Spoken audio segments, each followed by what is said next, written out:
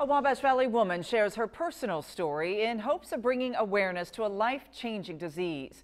Today is World MS Day, a day when Amanda McCullough opens, talks openly about her multiple sclerosis. Today is World MS Day, a day to break down the barriers and educate people about multiple sclerosis.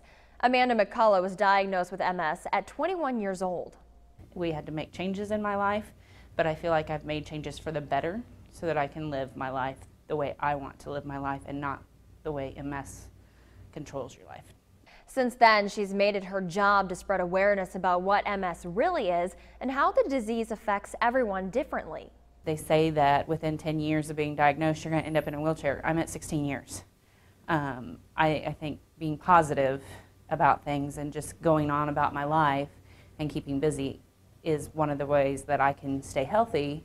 Ashley Ayers with the National MS Society Indiana State Chapter explains what MS does to the body. It disrupts the flow of information within the brain and then between the brain and the body.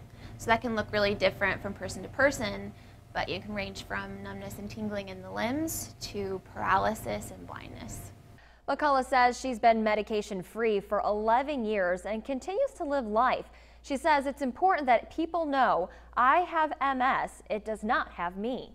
And by World MS Day and getting that information out there, they realize, no, there are people out there who live and function daily. We, we struggle, but we have, you know, we get through it.